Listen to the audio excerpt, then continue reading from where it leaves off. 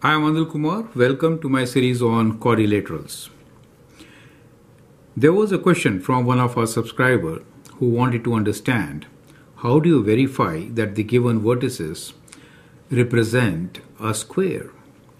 So based on his request, I have made two questions here. I hope you will find them interesting. Question number one, explain how you can verify without finding length of each side that the given coordinates are the vertices of a square. The coordinates are A 4 5, B 6 1, 2 minus 1 and D 0 3. Right, so without finding the length of each side, you have to figure out that these coordinates represent a square. Okay. Question number two. Use your method to verify that the following points use your method. I should write use your above method. So you'll have you'll come up with a method here, right? Use your above method to verify that the following points do not represent a square. They represent something else. Perfect. So these are your questions. You can always pause the video, answer the question, and then look into my suggestions. Okay. Now let's first talk about what a square is and then we will work out a scheme to verify that this is these points represent a square. So if I have a square, first thing which you all know is that all sides are equal. Perfect. Now I am saying without finding the length of each side. So we know all sides are equal, but that is not how we will verify. So I made the question complicated. We also know that these are all at right angles. We can use this. What else do you know? That is key to get the answer. So we'll begin with at least what we are referring to. That is to say that the slopes are negative reciprocal, right? So lines are perpendicular. So we need to figure out that are the lines perpendicular, right? So we say lines are we have two pairs of parallels, right? So parallel and they are also perpendicular.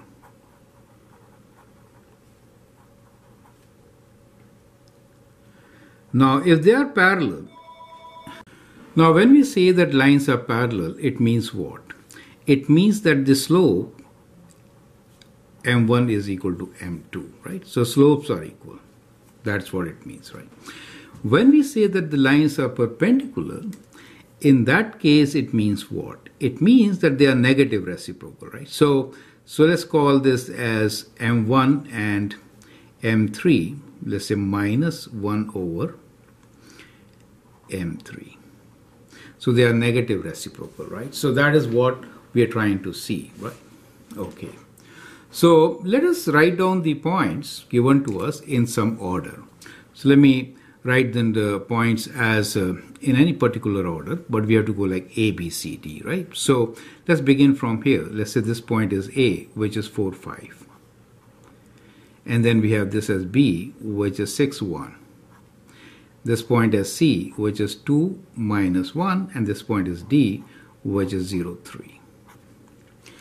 Right, so we have gone in a particular order, right? You could go clockwise or counterclockwise, it doesn't really matter. You don't really have to use a graph paper to plot, that's what I'm trying to say. So first let's prove that these two lines are parallel. That is to say that AB is parallel to DC. Right, so let's try to prove that. How can you prove? We have to find their slope to prove it, right? So we have to find their slope. So let's calculate the slope between these two lines, AB and CD. Slope means, let's say slope M, which is y2 minus y1 over x2 minus x1. So for these lines, the slope is going to be, we are saying A to B. So 1 minus 5 1 minus 5 divided by 6 minus 4 6 minus 4 correct so that gives you minus 4 divided by 2 or minus 2. Clear? So that becomes the slope of ABDC. AB, right? Now let's find the slope of DC. This is slope of AB. Now let's find slope M of D to C. Slope of D to C will be minus 1 minus 3 minus 1 minus 3 divided by 2 minus 0. 2 minus 0. That gives you minus 4 divided by 2 which is again minus 2. So you see here that the slope of AB is equal to slope of DC. That means they are parallel. Correct? So we have got one part of it. Now, let us check AD should be perpendicular to AB. That is perpendicular lines. If I say these two are perpendicular, that means they are parallel also. Does it make sense to you? Okay. So let's now prove that we have perpendicular lines. So we'll now find the slope of A to D, right? Slope of A to D, A to D is what? 3 minus 5. Let me write down here.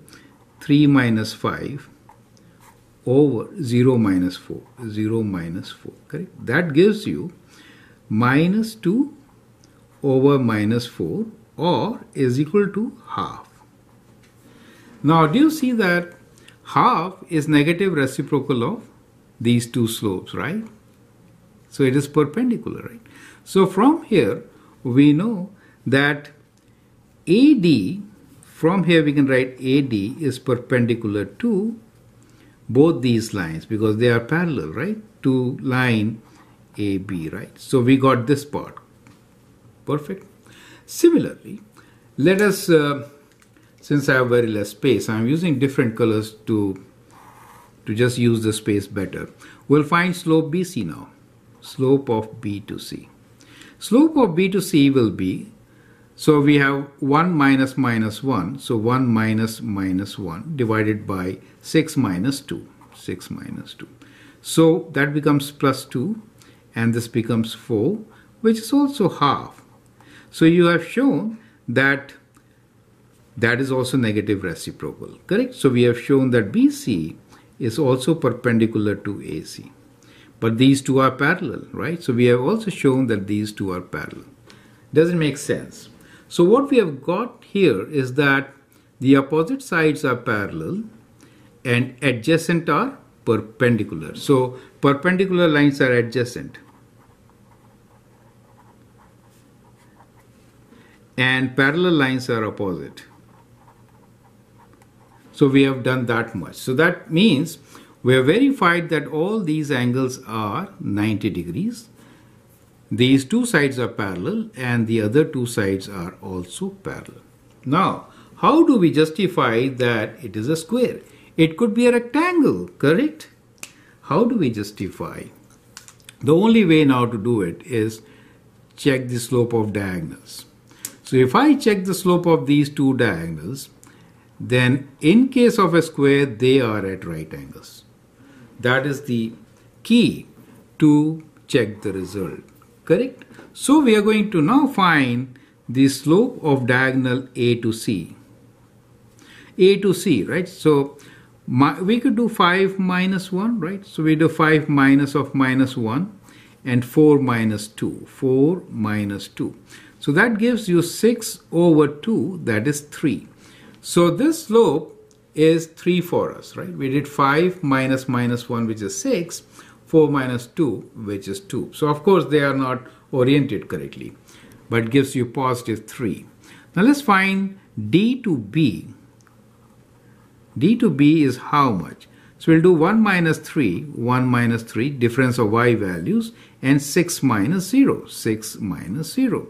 So that gives you minus 2 over 6, right, which is minus 1 over 3. So do you see that they are negative reciprocal? 3 and minus 1 over 3. So from here you can easily show that the line A to C, that diagonal, is perpendicular to diagonal DB. Since they are perpendicular, it is a square.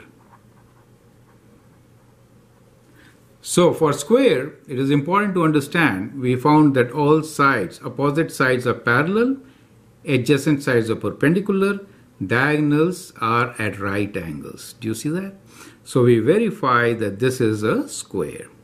Now, you could use distance formula and verify further, correct? So distance formula I'll give you, but I'm not going to use it. Distance is x1 minus x2 whole square plus y1 minus y2 whole square square root. So you'll notice that all sides distances are exactly same and it is a square. Is that okay? So that is the strategy to prove that a given quadrilateral is a square without even finding the length of each side. Does make sense to you? Perfect. Now, your question is question number two. We have similar points here. You have to verify that these points do not represent a square. You could figure out what does it represent, right? So here is my solution to question number two. I hope you have already got the result. So just let me just sketch some figure here. We are we are not sure whether it's a square or not. I'm just sketching a figure which is not a square. Your method to verify that the following points do not represent a square, so not a square. So I'm just writing the points again. So write A as 4, 5, B as 6, 1, C as minus 4, 1, and D as minus 2, minus 3. Correct? Now, to verify that this is not a square, one way was we could just check the diagonal. We could do that. And we can say that our diagonal is not at right angle. So uh, we'll do a shortcut method now. So we'll say, what is the slope of A to C? Slope of A to C is y2 minus y1 over x2 minus x1 is equal to 1 minus 5 over minus 4 minus 4 correct? So that gives me minus 4 over minus 8 or is equal to 2 so this slope is 2 let's find the slope of d to b. So slope of d to b is equal to 1 minus minus 3 divided by 6 minus minus 2 which is 1 plus 3 is 4 and 6 plus 2 is 8 which is equal to half not negative half. Do you see that?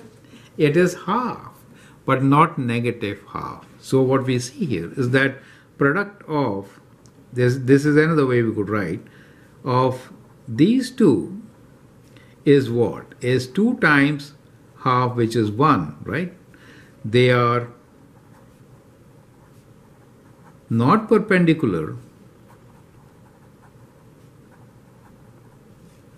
since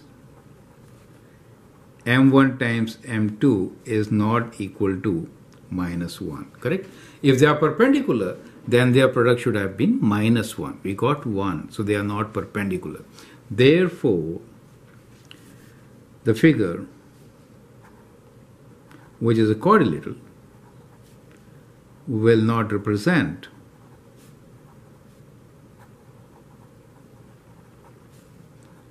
a square. Does make sense to you? Well, you can verify that given these points, the opposite sides are parallel. So I have taken points where the opposite sides are parallel, actually, and also these two sides are so you should verify that. And once you do that, you can say it is a rectangle.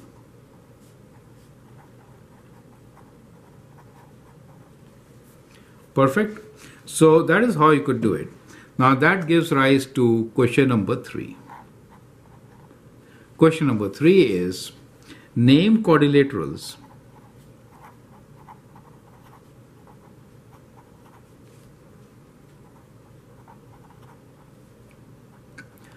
in which diagonals bisect and are at right angles. Let me remove the word bisect. In which the diagonals are at right angles. Okay. Can you name other quadrilaterals where diagonals are at right angle? That is your question. So just by checking that diagonals are at right angles, we cannot conclude it is a square, right?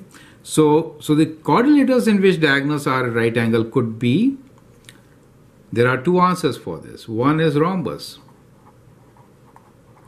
and the other one is kite.